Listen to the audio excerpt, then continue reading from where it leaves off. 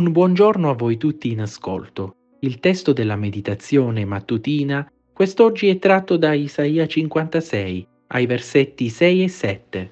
E i figli degli stranieri che si sono uniti all'Eterno per servirlo, per amare il nome dell'Eterno e per essere suoi servi, tutti quelli che osservano il sabato senza profanarlo e si attengono fermamente al mio patto, li condurrò sul mio monte santo e li riempirò di gioia nella mia casa d'orazione.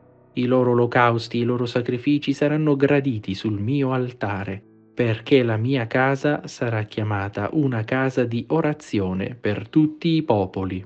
All'interno di questo importante capitolo 56 sono contenute delle profezie molto importanti appunto e molto fondamentali per quanto riguarda l'estensione della salvezza a tutto il mondo quell'universalismo di cui Gesù Cristo stesso si fa il promotore al momento dell'ascensione, come leggiamo nell'ultimo capitolo del Vangelo di Marco, quando dà il comando di andare in tutto il mondo e predicare il Vangelo a tutti i popoli. Adesso questo universalismo viene visto sotto una luce particolare, quella di essere servi del Signore e osservare il sabato.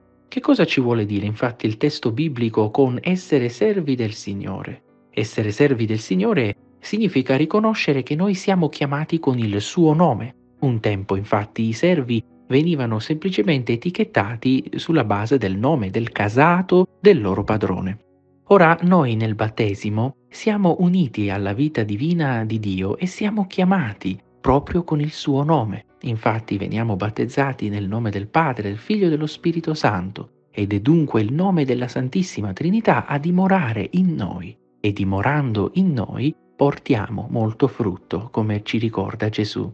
Che Dio si faccia chiamare il Dio di Abramo, di Isacco e di Giacobbe significa anche e soprattutto questo, che è il Dio di me, di te in ascolto, ognuno con il proprio nome inserito nel suo nome. Quindi questo inserimento è doppio, siamo noi inseriti nel nome di Dio e il nome di Dio in noi. Questo rapporto molto intimo è un rapporto basato sull'amore, sulla fiducia. E come ogni persona che viene amata e rispettata è sicuramente ascoltata nella sua volontà. Ed è necessario pertanto che la nostra volontà si conformi alla sua, specie su un comandamento importante come quello del sabato, il quarto comandamento, non è infatti un caso che il riferimento al sabato qui ci ricordi che anche agli stranieri è rivolto questo comandamento della legge universale di Dio, anche ai gentili che si sono uniti agli ebrei. Non era dunque un comando solo per gli ebrei, ma per tutta la Chiesa universale che nel futuro sarà ormai composta senza riguardo più alcuno alla nazionalità o alle usanze giudaiche. E la promessa di Dio proprio per questi per costoro che osservano il sabato senza profanarlo e si attengono fermamente al patto, quindi rimanere fedeli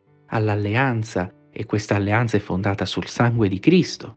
Allora la promessa rivolta a costoro è di essere condotti al Monte Santo, un'immagine che indica proprio la Gerusalemme celeste, Sion, la salvezza, il Tempio celeste. Infatti li riempirò di gioia nella mia casa di orazione, e i loro olocausti i loro sacrifici saranno graditi sul mio altare. Sebbene il profeta parlasse naturalmente in maniera immediata, quindi relativamente proprio agli olocausti e ai sacrifici effettivi che venivano offerti e che vennero offerti fino alla morte di Cristo, in realtà questa profezia si realizza ancora meglio con la morte di nostro Signore. Infatti, alla morte di Cristo, poco prima viene instaurata e istituita la legge della nuova alleanza, della nuova ed eterna alleanza.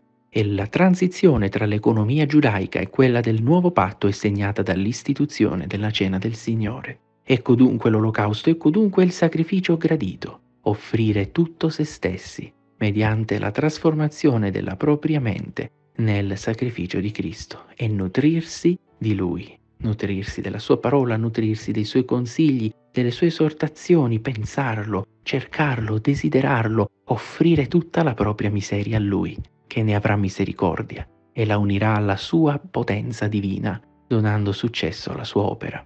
Ancora una volta è l'incarnazione dell'elemento divino in quello umano.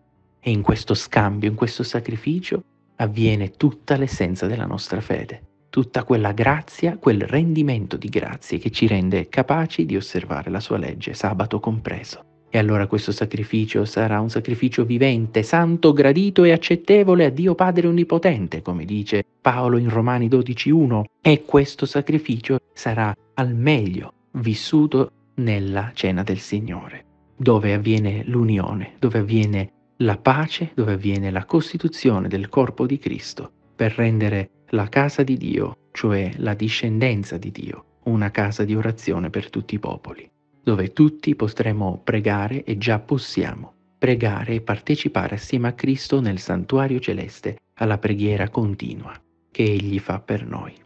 Dunque, ecco il messaggio di questo versetto, un messaggio che contiene l'anticipazione della nuova ed eterna alleanza cristiana e che ci dice anche che questa alleanza non si ha senza i dieci comandamenti e senza il sigillo di questi dieci comandamenti, ovvero il riposo del giorno di sabato, il settimo giorno. Ed è proprio questo riposo che caratterizzerà all'ultimo i segnati, coloro che sono appunto hanno accettato il sigillo di Dio e coloro che saranno portati alla casa di orazione al Monte Santo, al Tempio di Dio, come 144.000, come ci ricorda Apocalisse 7 e 14.